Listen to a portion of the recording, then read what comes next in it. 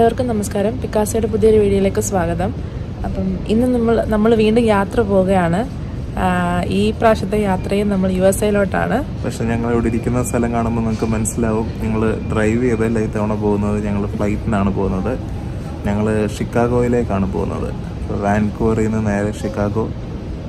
അവിടെ ഡെല്ലയുടെ ആന്റിയും റിലേറ്റീവ്സും ഒക്കെ ഉണ്ട്. അപ്പോൾ അവരെ ഒന്ന് മീറ്റ് ചെയ്യാം. സ്ഥലങ്ങളൊക്കെ ഒന്ന് കാണാം. എന്നൊക്കെ കരുതി ഇറങ്ങിയിരിക്കുകയാണ്. മൂന്ന് ദിവസമേ ഉള്ളൂ ട്രിപ്പ്. വളരെ ഷോർട്ട് ട്രിപ്പാണ് പക്ഷേ അത്യാവശ്യം നല്ല ഡിസ്റ്റൻസ് ഉണ്ട്. നമ്മൾ നാട്ടിൽ നിന്ന് ദുബായി പോകുന്ന ദൂരമുണ്ട് ഇവിടെ നാല് മണിക്കൂറിൽ കൂടുതൽ ഫ്ലൈറ്റ് ഉണ്ട്. അപ്പം ഇപ്പോൾ ഞങ്ങൾ ചെക്ക് ഇൻ ഒക്കെ കഴിഞ്ഞു. ഇമിഗ്രേഷനൊക്കെ കഴിഞ്ഞു. എന്നിട്ട് അകത്ത് വന്ന് വെയിറ്റ് ചെയ്തിരിക്കുകയാണ് ഫ്ലൈറ്റിന് വേണ്ടി. ഇനി ഒരു എനിക്കൊന്ന് രണ്ട് മണിക്കൂറോടെ ഉണ്ട് ഫ്ലൈറ്റ് ടേക്ക് ഓഫിന് അപ്പോൾ അതിന് അതിന് മുമ്പ് ചുമ്മാ നമ്മുടെ എയർപോർട്ടൊക്കെ ഒന്ന് കറങ്ങി കാണുകയും ഇങ്ങനെ ചുമ്മാ തന്നെ തിരിഞ്ഞ്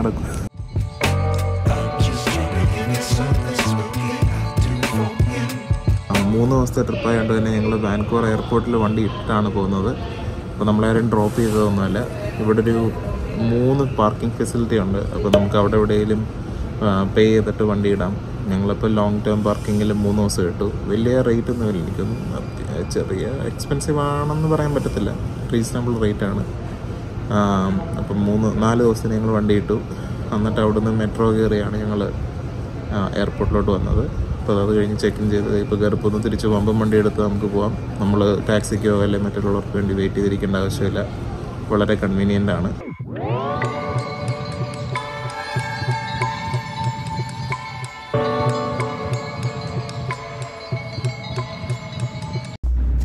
ഏറെ നേരത്തെ കാത്തിരിപ്പിന് ശേഷം ഞങ്ങൾക്ക് പോകാനുള്ള ഫ്ലൈറ്റ് ഇവിടെ വന്നിരിക്കുകയാണ് അലാസ്കൻ എയർലൈൻസിന്റെ ഇതാ ഞങ്ങൾ ഫ്ലൈറ്റിനകത്ത് കയറി കയറി കഴിഞ്ഞപ്പോഴാണ് അറിയുന്നത് ഫ്ലൈറ്റ് ഡിലേ ആണെന്ന്.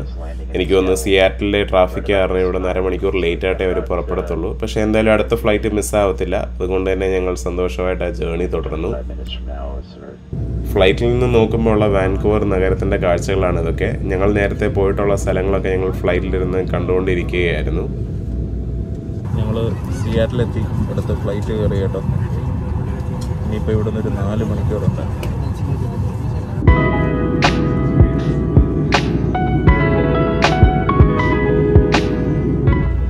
ഞങ്ങൾ ചിക്കാഗോയിൽ ലാൻഡ് ചെയ്തു. നാല് മണിക്കൂറത്തെ യാത്രയായിരുന്നു. ചിക്കാഗോ എയർപോർട്ട് പഴയതാണെങ്കിലും മനോഹരമായ ഒരു എയർപോർട്ടാണ്.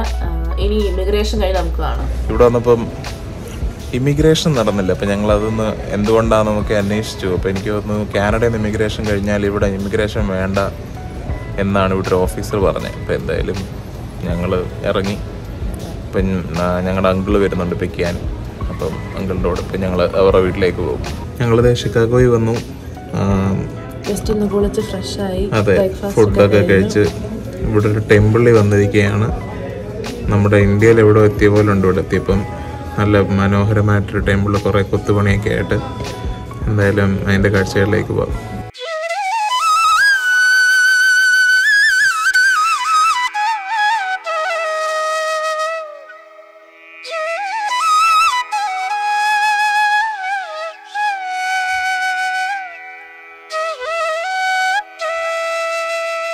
ഇവിടെ ഇങ്ങനെ സീതയുടെയും അങ്ങനെ കുറേ കാര്യങ്ങളൊക്കെ ഉണ്ടാക്കിയൊക്കെ വെച്ചിട്ടുണ്ട്. ഒരു കുളമുണ്ട് അവിടാണ് എൻട്രൻസ് അവിടെ നിന്ന് ഇങ്ങനെ നടന്ന് അതാണ് ടെമ്പിൾ അതിന്റെ അകത്ത് ഫോട്ടോഗ്രാഫി അലൗഡ് അല്ല. പക്ഷെ ഞങ്ങൾ ജസ്റ്റ് കയറി കണ്ടു. ഭയങ്കര ഒരു ഫീലാണ് ഇന്നിപ്പോൾ ഇവിടെ നല്ല തണുപ്പാണ്. ഇച്ചിരി മുമ്പ് ചെറുതായിട്ട് സ്നോ ഒക്കെ പൊടിഞ്ഞായിരുന്നു. അപ്പം നമുക്ക് ഒത്തിരി നേരം വെളി നിൽക്കാനുള്ള ഒരു സാഹചര്യം ഇല്ല ഞങ്ങളതുകൊണ്ട് പയ്യെ അകത്തേക്ക് കയറുകയാണ് ഇനി അടുത്ത സ്പോട്ട് പിടിക്കണം. ഇത് ഇതുപോലുള്ള ഒത്തിരി കൊത്തുപണികളുണ്ട്. അകത്ത് മാർബിളയിലും വുഡേലും ഒക്കെ. പക്ഷെ വീഡിയോ എടുക്കാൻ പറ്റത്തില്ല.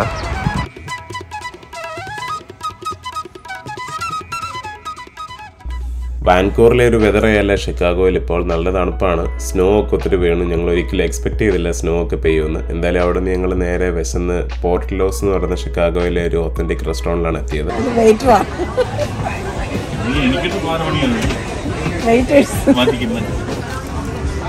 ഞങ്ങൾ കഴിക്കാൻ ഓർഡർ ചെയ്തത് ഓണിയൻ റിങ്സ് ഫ്രൈസ് ഉണ്ട്. ഇറ്റാലിയൻ ബീഫും പിന്നെ ഒരു ഹോട്ട് ഡോഗും അതെ ഒത്തന്റിങ് ചിക്കാഗോ എന്താ റെസ്റ്റോറന്റ് ആണ്. പോർട്ടിലോസ് എന്നാണ് പേര്. ഇതാണ് നമ്മുടെ ചിക്കൻ സാൻഡ്വിച്ച് അവിടുന്ന് ഫുഡൊക്കെ കഴിച്ച് ഞങ്ങൾ നേരെ വീട്ടിലേക്ക് പോയി. തണുപ്പായതുകൊണ്ട് വേറെ എങ്ങും പോയില്ല. സെക്കൻഡ് ഡേ ഞങ്ങൾ ഷിക്കാഗോ നഗരം കാണാൻ വേണ്ടി ഇറങ്ങി. ഒത്തിരി പഴയ ഒരു സിറ്റിയാണ് ഷിക്കാഗോയുടേത്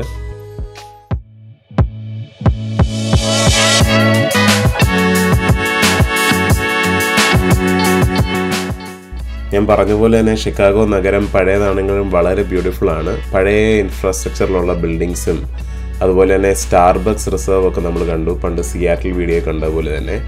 സഞ്ചാരത്തിലൊക്കെ പറയുന്ന പോലെ അമ്പര അമ്പരചുംബികളായ കെട്ടിടങ്ങളും അതുപോലെ തന്നെ ഷിക്കാഗോയിൽ വളരെ ഫേമസ് ആയിട്ടുള്ള ഒരു റിവർ ഉണ്ട് ഷിക്കാഗോ സിറ്റിയിൽ കൂടെ ഫ്ലോ ചെയ്യുന്നത്. അതൊക്കെ കണ്ടു. അതിന്റെ തൊട്ട് പുറകിലായി നമ്മുടെ പഴയ അമേരിക്കൻ പ്രസിഡന്റിന്റെ ട്രംപ് എന്ന് പറയുന്ന ഹോട്ടലും അതിന്റെ തൊട്ട് താഴെ റിവർ വോക്കും ഒക്കെ കണ്ടു. ഇതാണ് നമ്മുടെ ഷിക്കാഗോയിലെ പബ്ലിക് ട്രാൻസ്പോർട്ട് ബസ്സുകൾ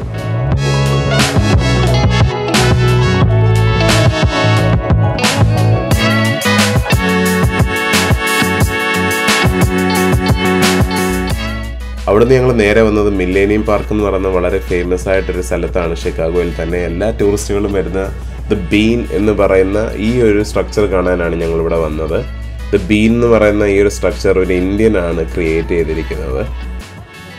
ഈ മില്ലേനിയം പാർക്കിൽ തന്നെ കുറേ കാര്യങ്ങൾ നടന്നു കാണാനൊക്കെ ഉണ്ട്. നമ്മളിപ്പോൾ ഈ കാണുന്ന ഈ ഡിസ്പ്ലേ വളരെ ഫേമസ് ആയിട്ടൊരു കാര്യമാണ് ഷിക്കാഗോയിൽ ഇവിടെ ഒരു ഫൗണ്ടൈനും കാര്യങ്ങളൊക്കെ ഉണ്ട്. പക്ഷേ ഇപ്പോൾ വിന്റർ ആയതുകൊണ്ട് അതൊക്കെ അവർ പ്രവർത്തിപ്പിക്കാതെ വെച്ചിരിക്കുകയാണ്.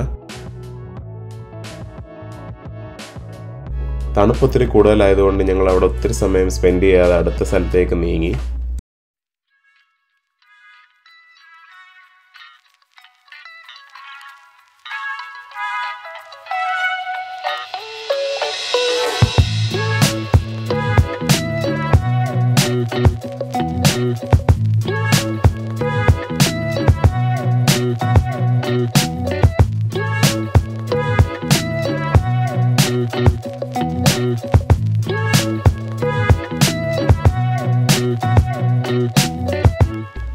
ഷിക്കാഗോ സിറ്റിയുടെ അന്നത്തെ കാഴ്ചകളൊക്കെ കണ്ട് ഞങ്ങൾ നേരെ വീട്ടിലേക്ക് മടങ്ങി. ഇനിയുള്ള കുറച്ച് സമയം മകളുടെ ആന്റിയുടെയും കൂടെ സ്പെൻഡ് ചെയ്യാമെന്ന് കരുതി.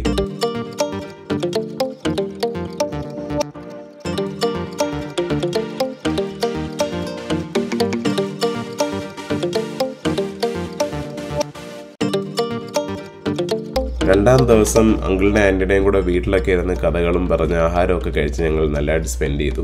അടുത്ത ദിവസം ഞങ്ങൾ വന്നത് ബഹായി ടെമ്പിൾ എന്ന് പറയുന്ന ഒരു സ്ഥലത്തേക്കാണ്. ഇത് ഞങ്ങളിപ്പോൾ ഒരു ബഹായി ടെമ്പിൾ എന്ന് പറയുന്ന ഒരിടത്താണ് വന്നേക്കുന്നത് നല്ല ബ്യൂട്ടിഫുൾ ആയിട്ടുള്ളൊരു ഒരു ടെമ്പിളാണത് ഞങ്ങൾ ടെമ്പിളിന്റെ അകത്തോട്ട് കയറാൻ പോവാണ്.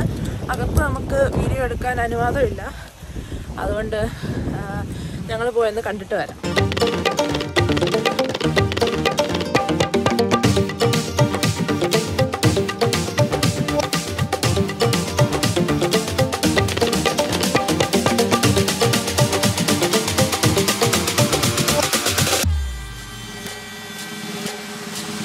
ബഹായി ടെമ്പിൾ എന്ന് പറയുന്നത് കോണ്ടിനെന്റൽ ഹൗസസ് ഓഫ് വർഷിപ്പ് അല്ലെങ്കിൽ മതഭേദമന്യേ എന്നൊരു കോൺസെപ്റ്റിലാണ് ഈ ടെമ്പിൾസ് ഒക്കെ ബിൽഡ് ചെയ്തിരിക്കുന്നത്.